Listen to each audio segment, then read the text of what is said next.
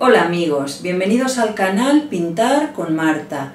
En este tutorial vamos a ver los formatos y tamaños de lienzo que hay estándar en el mercado, fáciles de encontrar y eh, de qué manera tenemos que elegir el lienzo para que se adapte bien a la imagen que queremos crear, tanto si es a partir del natural como a partir de una fotografía. Una cosa es el formato y otra cosa es el tamaño.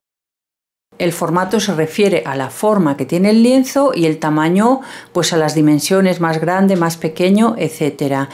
Los formatos eh, estándar básicamente son seis, el cuadrado, el circular, el ovalado y los tres rectangulares más típicos que son el formato figura, el formato paisaje y el formato marina.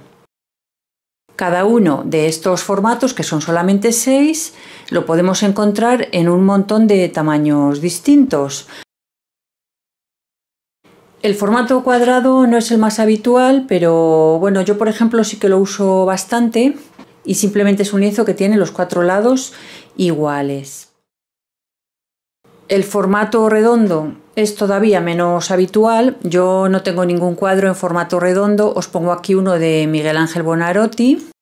¿Qué tipo de cuadro podemos meter en un formato redondo? Pues exactamente el mismo tipo de imagen que en el formato cuadrado. Porque como el círculo queda perfectamente inscrito dentro de un cuadrado, aquella imagen que nos encaje bien en un cuadrado nos encajará también bien en un círculo.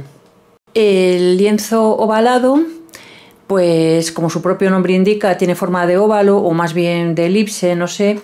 ¿Y eh, qué tipo de imagen nos puede encajar bien ahí? Pues cualquier imagen que entre bien en un lienzo rectangular entrará bien en un lienzo ovalado.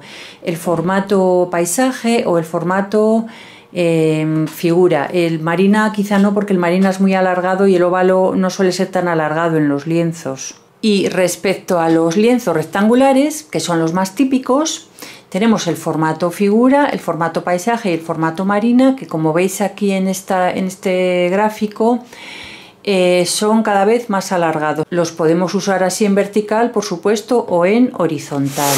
El formato Figura es un rectángulo muy achatadito, con muy poca diferencia entre un lado y el otro. El formato paisaje tiene más diferencia entre el lado largo y el corto.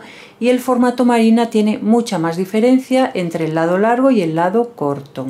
¿Qué tipo de imágenes se suelen pintar en el formato figura?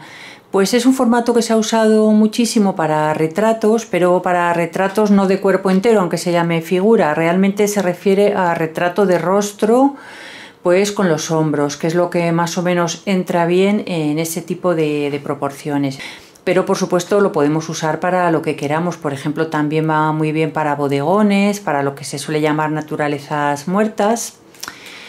Yo lo he usado mucho para retratos y también no exactamente para bodegones, porque yo no pinto muchos bodegones, pero para conjuntos de objetos y otros temas. El formato paisaje, pues como su propio nombre indica, se usa mucho para paisajes.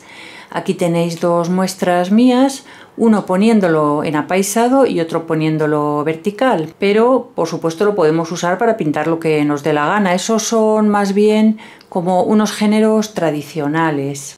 Y el formato marina tiene unas proporciones mucho más alargadas, hay mucha más diferencia entre el lado corto y el lado largo, yo no lo uso, por eso no os voy a mostrar ninguno mío.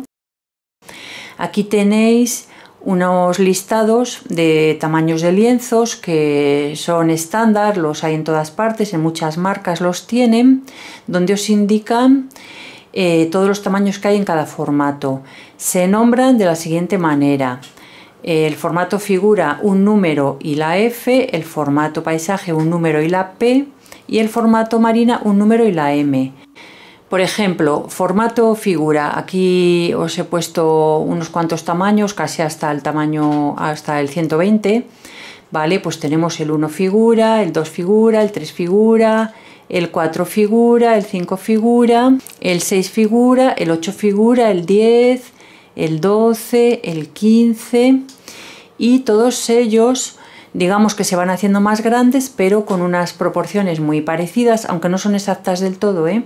Si queremos saber si una imagen, por ejemplo una fotografía, es proporcional al lienzo que vamos a usar, solo tenemos que trazar una diagonal en el lienzo, ponemos en el extremo nuestra imagen y si la diagonal del lienzo pasa también por la diagonal de, de la imagen, es que son proporcionales. Esta, por ejemplo, es proporcional y esta no lo es, necesitaríamos un lienzo menos alargado. Y esto es todo, hasta la vista.